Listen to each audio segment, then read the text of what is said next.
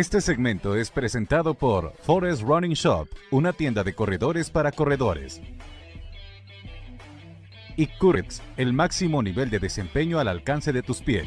Ya estamos en nuestro segmento de running. Esta semana nos encontramos de visita en Forest Running Shop. Ya se encuentra con nosotros nuestro atleta invitado de esta semana, el atleta máster Francisco Aguilar. Francisco, bienvenido nuevamente a la Red Fit. Un gusto tenerlo como invitado dentro de nuestro segmento de running de esta semana. Le agradecemos mucho el que haya aceptado la invitación y el tiempo, Francisco. Muchas gracias, eh, Jorge, pues aquí con ustedes para las preguntas que, sean necesarios responder. Muchas gracias, Francisco. Estábamos recordando que hace aproximadamente un año estuvimos platicando, Francisco, acaba de regresar del Campeonato Mundial de Atletismo Master, en el cual le había ido muy bien, había obtenido un oro, una plata, y pues quisimos invitarlo nuevamente para que nos ponga ahí un poquito al día de qué ha estado haciendo. Sabemos de que acaba de asistir a un campeonato en Costa Rica a finales del año pasado, en el cual también lo fue bastante bien, Francisco. Sí, em, participé por 14 veces en, un campeonato centroamericano y entonces eh, en Costa Rica corrí 100, 200, 400, 800 y 1500 en tres días y afortunadamente los cinco primeros lugares. Cinco oros, Francisco. Sí, cómo no. Buenísimo. Eh, la vez pasada nos comentaba de que el atletismo máster se divide en varias categorías. ¿En cuál está participando actualmente? Bueno, ahorita estoy en la categoría 85-89, que, es, lo que corresponde a mi edad. Realmente, entre paréntesis, soy ahorita el de más edad que está compitiendo aquí. ¿A nivel centroamericano o regional? A nivel centroamericano y guatemalteco porque prácticamente ya no hay competencia en, esta edad. Pero el atletismo máster se divide en cada cinco años hay una nueva categoría. Ah, Entonces, desde ese empecé a los 60 años, hace 27 años, a competir en los campeonatos centroamericanos. Y este, como decía, fue mi 14 vez que he competido. En esos afortunadamente he tenido 38 primeros lugares, 16 segundos y 10 terceros. Eso es Buenísimo. Lo que he hecho en.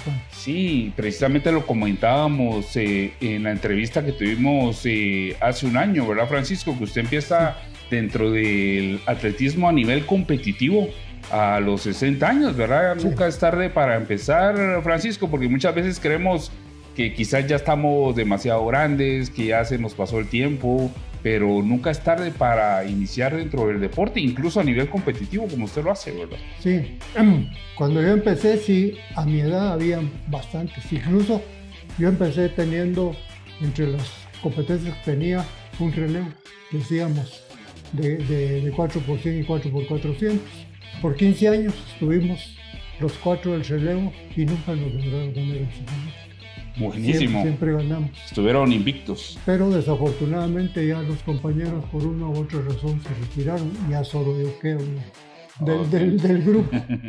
Así que en eso estamos. Y realmente yo sigo entrenando. Espero que no haya ninguna lesión ni nada para seguir en eso. Este año lo que tenemos pendiente es otro centroamericano, pero no se sabe dónde va a ser, si Guatemala lo agarra o algún algún otro país, porque usualmente los campeonatos centroamericanos son cada año. Okay. O eran cada año porque con la, pandemia, con la pandemia se nos descontroló todo. Pero ya el, el, año pasado pues hubo en, Costa Rica y, esperamos que este año también. Probablemente Panamá, porque Panamá era el que lo iba a hacer, pero se hizo de lado y Costa Rica fue el que lo, tomó. Sí. ok, súper. Igual nos comentaba de que hay, eh, adicional a este campeonato centroamericano en el cual participó en Costa Rica, en este 2023 pues ha participado en varias competencias a nivel nacional, Francisco. Sí, a nivel nacional tenemos las competencias para ver cómo estamos realmente. Okay. Entonces cada mes o cada dos meses la, nuestra asociación ya tiene programados el, el, próximo ahorita creo que es el 12 de julio nos toca otra vez porque ahorita acaba de haber una, pero yo no pude participar porque tenía un tironcito y me quedé fuera de este que fue el, este, el 11. Ok. Y, y yo no pude hacerlo. Pero sí, sí trato de, estar siempre. Buenísimo. Estas competencias a nivel nacional se programan de alguna manera para, pues, para que los atletas se mantengan activos, se mantengan entrenando y también les sirve como un termómetro a ustedes para ver eh, el, el nivel en el que se encuentran. Exactamente.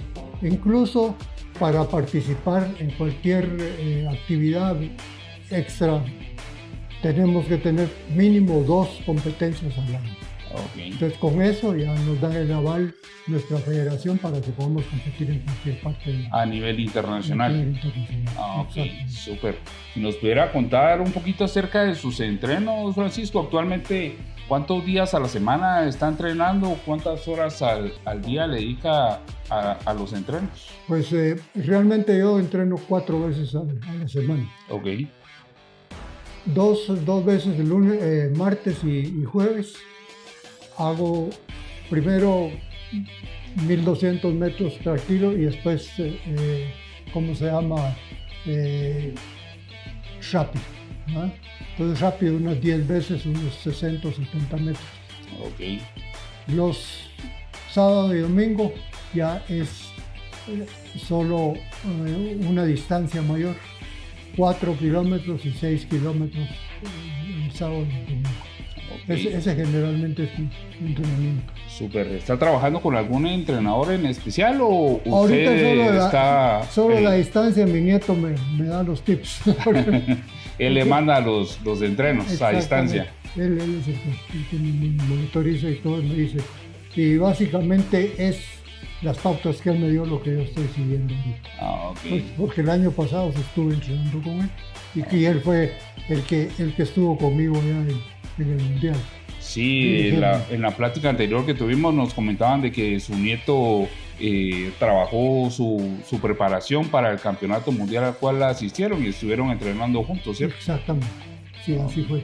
Entonces, como le digo ahorita, a la distancia seguimos comunicándonos con él. súper. Entonces, eh, siempre sigo las pautas que él me dejó. ¿no? Y en eso estamos. Realmente, el año entrante sí hay otro campeonato mundial. Espero que se me haga poder ir, pero vamos a ver. Porque sí es, sí es un poquito lejos. El campeonato mundial va a ser en Suecia. Súper, pues ahí vamos a estar muy pendientes, eh, Francisco. Eh, pues estamos en el mes de junio.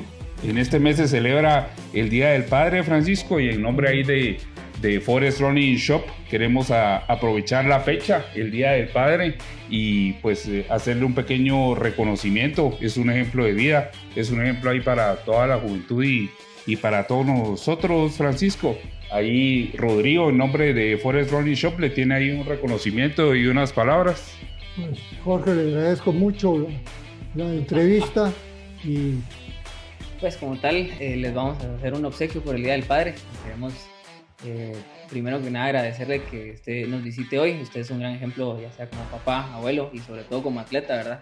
Es una inspiración también para muchos atletas. Eh, y pues en nombre de Forest Running Shop le vamos a entregar este reconocimiento. Que en sí es eh, una gorra de nuestro equipo, ¿verdad? Para que se sienta parte de la familia Forest Running. También eh, aquí adentro viene una playera de nuestro equipo también y, un- y unos lentes para que Muchas pueda gracias. usar en sus entrenos. Muchas gracias. Les agradezco mucho el, el- el obsequio y realmente es para mí un placer haber estado con ustedes.